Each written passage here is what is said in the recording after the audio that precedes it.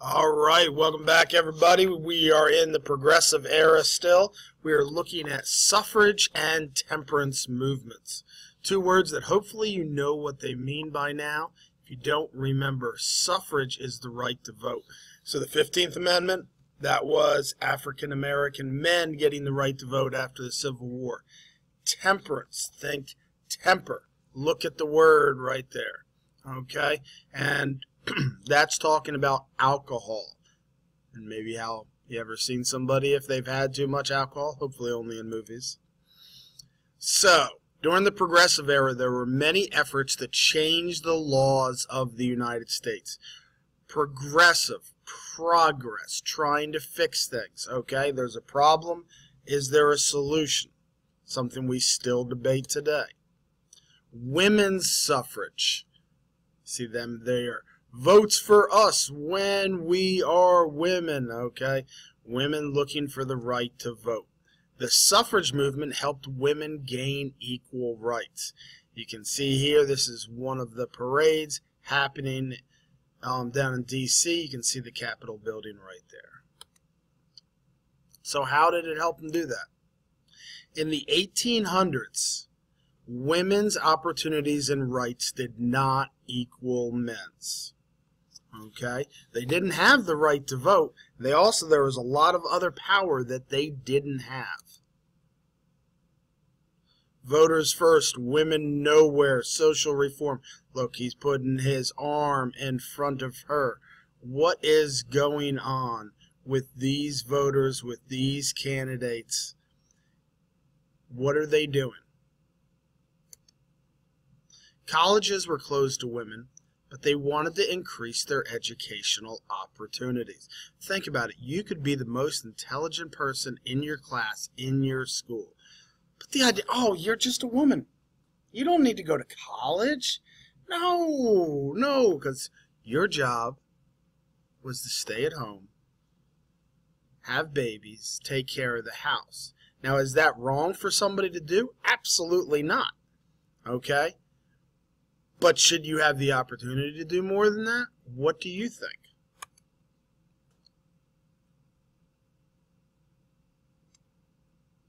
Many women wanted to get involved in the reform movements of the day, which included abolition, banning slavery, and temperance, banning alcohol.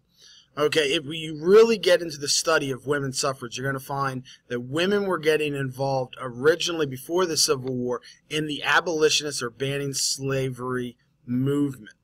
But they found even within that movement, within that progressive movement, they weren't allowed to be up front. Oftentimes, they weren't allowed to be the ones speaking. They weren't allowed to sit down on the floor with all the other people. They had to be tucked away into a corner, starting to get upset at even in this progressive movement, that they are being held back.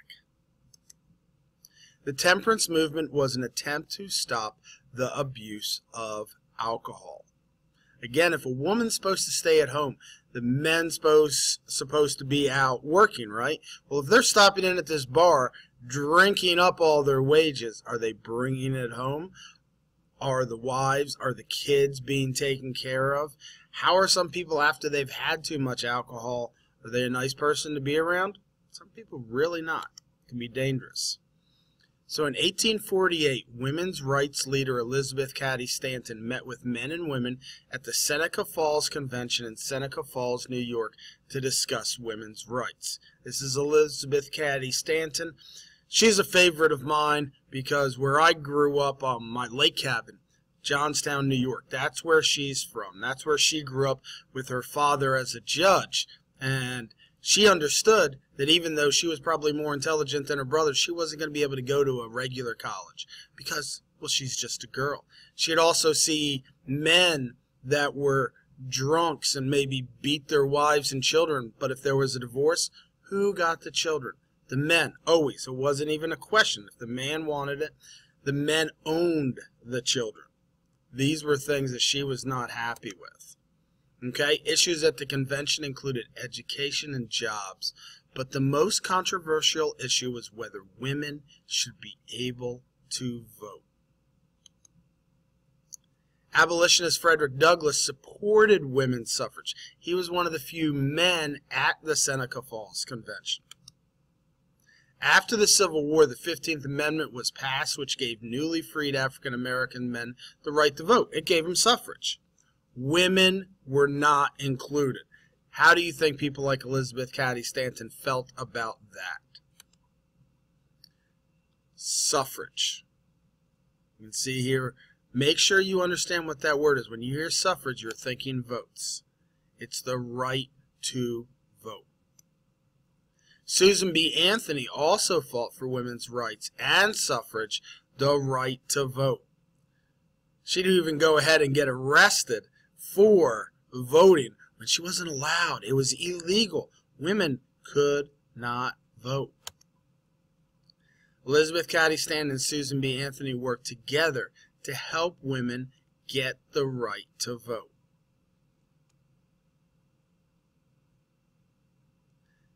This is in front of the White House.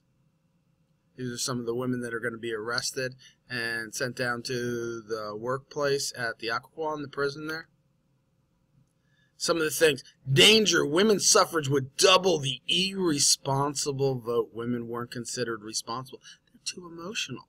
It is a menace to the home, men's employment, and to all business.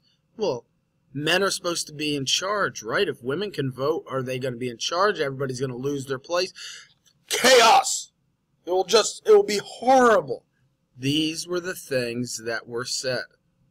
I remember one time um, reading in the newspaper, they um, polled a bunch of the college presidents. It was amazing to see presidents of big universities argue against women having the right to vote, talking about what a danger it be. So here the headquarters oppose, they're against women's suffrage. What do you think? What are they fearing? More people out here protesting. Just the simple fact, just like today, some people want to criticize anybody that protests. Ah, this is unladylike. What are they doing out there? This is a disgrace that they are out there protesting this. By 1912, many states had approved a women's right to vote, mainly out west because they needed to have a certain amount of voters first to be accepted as a state to be brought into the United States. So oftentimes women got the right to vote out west quicker than they did in the old East Coast, the original states, though you see New York State in 1917. World War I helped strengthen the cause for women's suffrage. With men at war, women had to do jobs. They had to come out of the house to do jobs that men typically did, such as repairing automobiles, driving buses. Women also worked in factories producing weapons. By in 1919, Congress passed the 19th Amendment. What amendment? 19th. What did the 19th say? That women are going to get the right to vote. Okay? They look happy there. Suffrages to celebrate here today. That's what women who were campaigning for the right to vote were known as. All right? Now you're going to flip page. You've got this video goes to a second page, changes brought on by the women's suffrage movement. You should be able to do this even without the video, but women realized increased or more educational opportunities. Women attained voting rights with the passage of the 19th Amendment. Susan B. Anthony and Elizabeth Cady Stanton worked for women's suffrage or right to vote.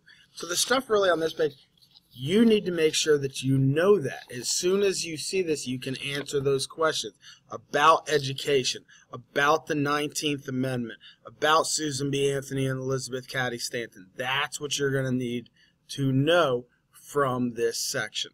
Okay, if you have trouble remembering those things, I recommend flashcards. In some of our classes, we will be making those up.